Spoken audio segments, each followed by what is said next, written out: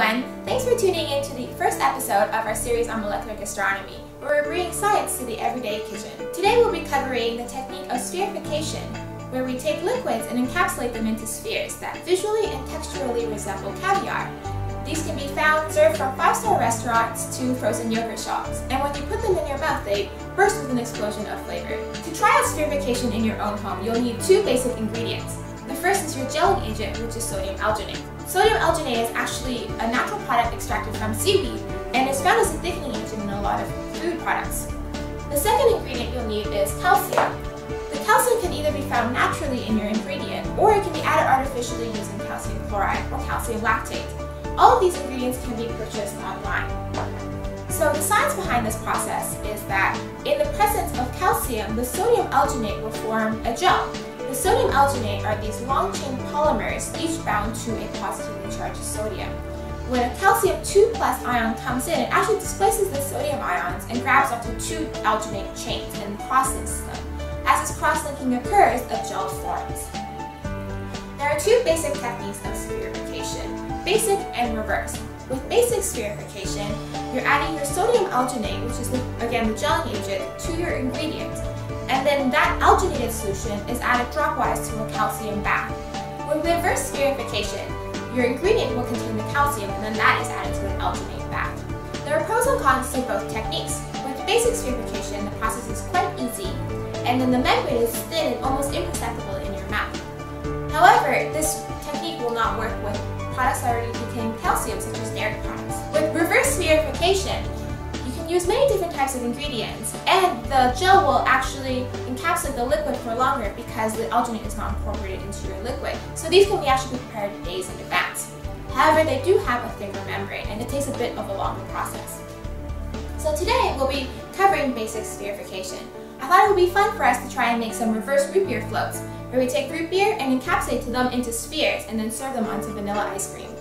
So the first step is to measure out our root beer. You'll need roughly 1% solution of the alginate to your main ingredient, or 1 gram of alginate for every 100 milliliters of your ingredient. So here I'll be taking 150 milliliters of my root beer and 1.5 grams of the sodium alginate.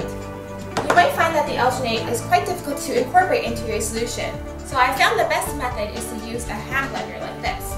If you find that it's still quite difficult incorporate, you can bring the solution to a boil, and that should help the alginate dissolve in your solution. If the ingredient that you are using is thicker, such as a fruit puree or a syrup, you can uh, add some deionized water to it to first dilute it. It's best to use deionized water because tap water might already contain calcium ions, which will interfere with your gelling process. Might find that this process takes roughly 5 to 10 minutes, so be patient. Once your alginate is fully incorporated, take a small strainer and strain the solution through. It.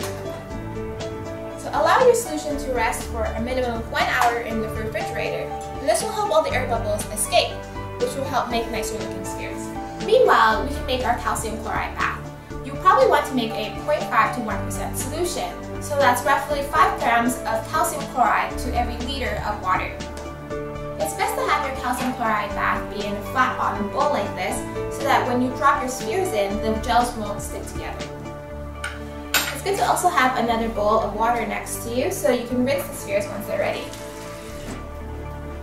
So now that our alginate solution has been sitting in the fridge for an hour, we can start with our spherification process. So if you want to make smaller spheres like caviar, it's best to use a syringe like this. These can be purchased in your local pharmacy or in a specialty food store. If you want to make larger spheres, then you can use a measuring spoon and then carefully deposit your alginated solution into the calcium bath. Today I think I'll make some root beer caviar. So leave the tip of your syringe just above your calcium bath and then slowly drop it in, dropwise. Try to space them a little bit apart so again they won't stick to one another. Wait a few seconds for the gelling process to take place, and now you can scoop them out with a small strainer. Take them out,